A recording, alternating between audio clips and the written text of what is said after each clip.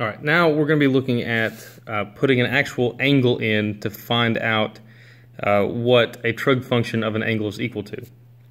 So uh, we have to make sure that we're in degrees. You all will probably be using a phone, but I'm going to be using a calculator.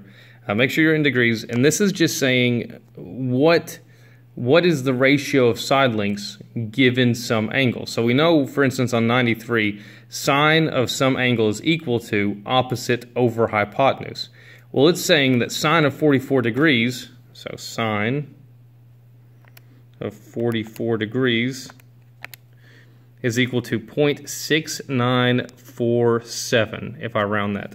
6947. Well, all that's saying is that uh, if I have a, a, right triangle and one of the angles is 44 degrees, that the ratio of opposite over hypotenuse will equal 0.6947. All right, so once we put that, or once we know that decimal, then if we're given an angle in a triangle, like this next section where we're supposed to find the side, we can find out a trig function of that angle, and that's just a decimal.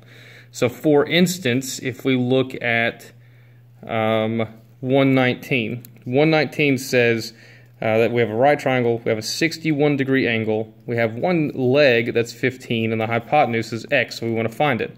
So we use the, the situ- information that this 61 degree angle, uh, we can find a decimal with the right trig function. So first we're going to label the triangle like we did before. Find the right angle, label the hypotenuse across from that, and then we're going to look at the reference angle, which is 61, since that's what we're given. Across from that is opposite, right? And next to it is adjacent. So now we have to figure out what function is going to be useful.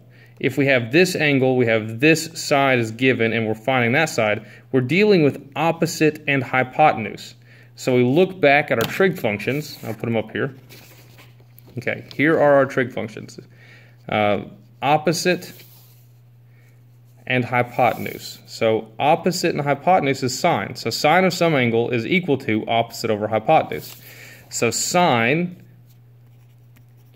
of 61 equals 15 over x.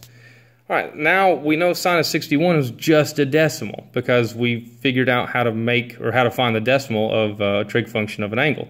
So we just say that's some number equals 15 over x. So to solve it, we would multiply both tops by x to get it out of the bottom.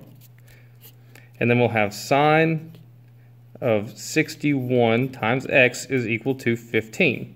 Now to solve for x, we just divide both sides by sine of 61, which is just a number, sine of 61. Now, to figure this out, those sines of 61 cancel out here, and we get x equals whatever 15 over sine of 61 is.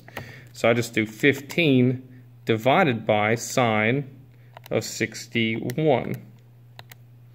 And that is 17.15 or 17, 17.2 rounded to the nearest tenth. Oh, sorry. All right.